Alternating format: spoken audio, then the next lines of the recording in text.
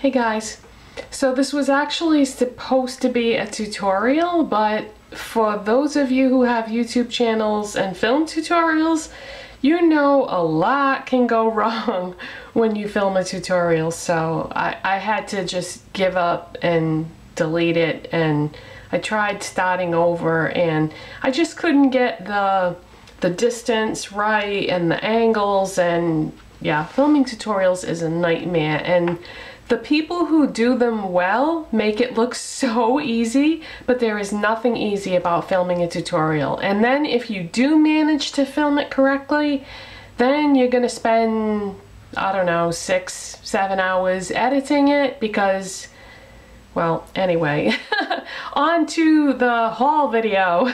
So yeah, this turned into a haul video. I got some more new products from Milani and like I just said, I tried to film a tutorial with it. That didn't work out right. So instead, it's just gonna be another haul video.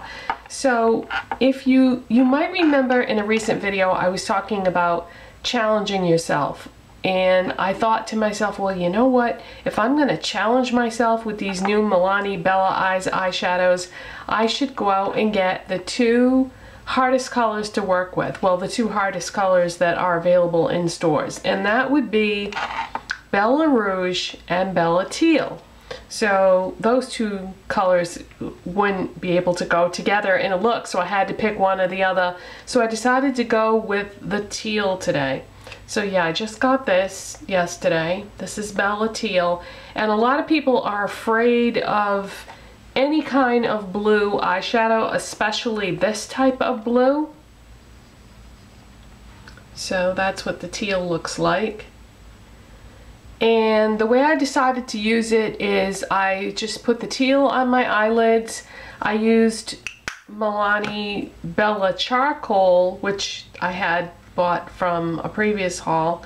I put that in the crease and that's what that looks like. Oh, what the heck, I'll swatch it again. And that's just what charcoal looks like. So I put that in the crease and as my highlight color I used white, Milani Bella Eyes White, which I've already shown this to you before, but seeing as how I'm talking about this look, I like white as a highlight if I use uh, gray and charcoal. I just think that uh, that combo looks good together. So that's what I did for my look today. And then, like I said, I also bought Bella Rosa and I, I'm sorry, Bella Rouge. And that's what that looks like. And I played around with this last night and the shadows that I used it with, it didn't end up being a good combination, but I figured I would try it. This is kind of like matte cranberry, so if you're familiar with that, it's very similar. I don't know that I would say that it's a dupe, but it is very similar. So I need to play with this more and figure out the best way to use it. I actually have an idea, but I don't have the Milani Bella eyes in the color that I think might look good with that. So maybe when I get that eyeshadow, I'll try those together. And then I also got what I'm wearing on my lips. Uh, first of all, I got the Milani Color Statement Lip Liner in Fuchsia. If you haven't tried these lip liners, you guys, they are amazing. So pigmented, so creamy, don't dry out your lips, last a really long time, um, the perfect base for your lipsticks.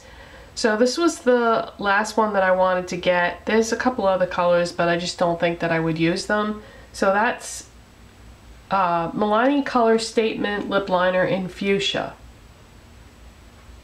So I have that on, lined and filled my lips. And then the lipstick that I got to go with that is number 19 Raspberry Rush.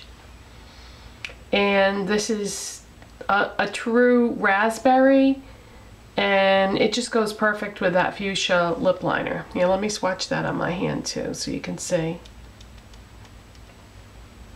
And this has a metallic finish, this lipstick. So that's what that looks like. Now, will I get any more of the Color Statement lipsticks? I'm not sure. The, you know, I looked at the display yesterday when I bought this raspberry one and there was one called Plum Rose, but that I liked a lot, but I have so many lipsticks that are just like that that I don't really feel like I need that one because a lot of my MAC Plum lipsticks are similar to that. So I'll probably pass on that. And then there was one or two other colors that I was kind of on the fence about, but the more I looked at them, the more I wasn't really sure. So I think I'm gonna cool it on the Milani Color Statement lipsticks for a while.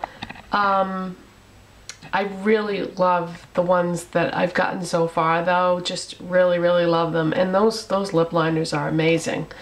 So, um, yeah, I guess that's it for today. I'm trying to think if there's anything else that I wanted to tell you. Um, if, if there's something that I forgot, I'll either put an annotation or write something in the description box. And of course, just like I always do, I'll put all the products that I'm wearing in the description box. And I'll see you next time. Bye!